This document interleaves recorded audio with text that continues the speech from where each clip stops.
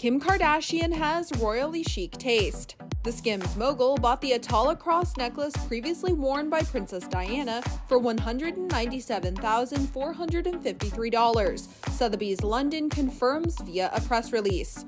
This is a bold piece of jewelry by its size, color, and style, which cannot fail to make a vibrant statement, whether it be of faith or fashion, or indeed both. We are delighted that this piece has found a new lease of life within the hands of another globally famous name, Sotheby's London head of jewelry Christian Spofforth said in a statement. The necklace was created in the 1920s by court jewelers Garrard and was worn by the late royal multiple times, most famously in October 1987. It features square cut amethysts and is accented by circular cut diamonds per Sotheby's. The reality star is all about a good pop culture moment. She previously rocked Marilyn Monroe's iconic dress at the 2022 Met Gala.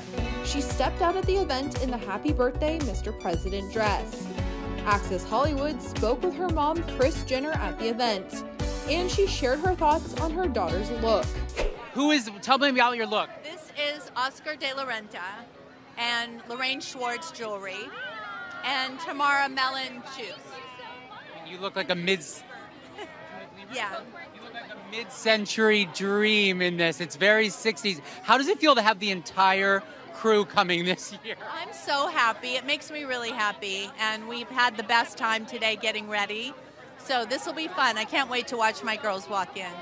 Is Khloe excited for her first Met? Oh, excited. Yeah, she's really excited.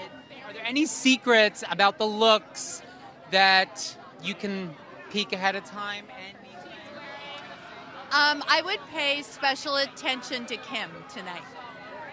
Big surprise. who are you excited to see back inside? Just my girls. Have the best time.